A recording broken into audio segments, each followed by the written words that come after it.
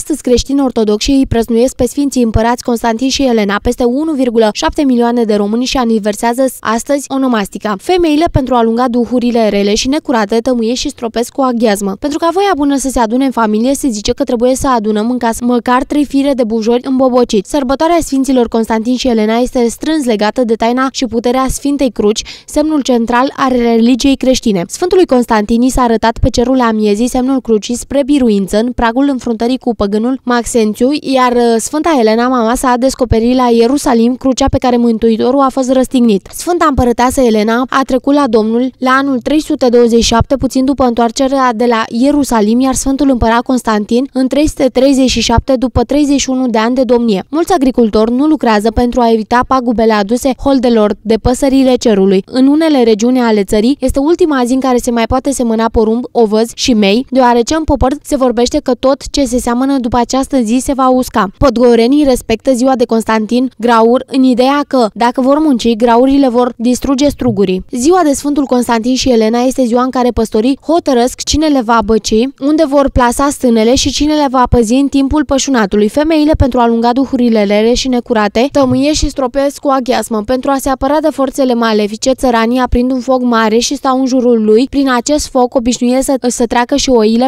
pentru a fi ferite de rele în timpul când vor sta la stână. În ziua praznicului nu este bine să dai păsărilor cerului pâine pentru că risipezi sporul casei și nu trebuie să strici cuibul păsărilor care au pui, oricât de zgomotase ar fi ele, deoarece se crede că în familii vor fi necazuri tot anul. De asemenea, în ziua praznicului, pentru ca voia bună să se adune familie, se zice că trebuie să aducem în casă măcar trei firi de bujujori îmbobociți. De asemenea, în popor se crede că unul dintre membrii familiei este bine să aducă în biserică trei bujori, flori de lămâiță, pâine și dulciuri preparate în casă.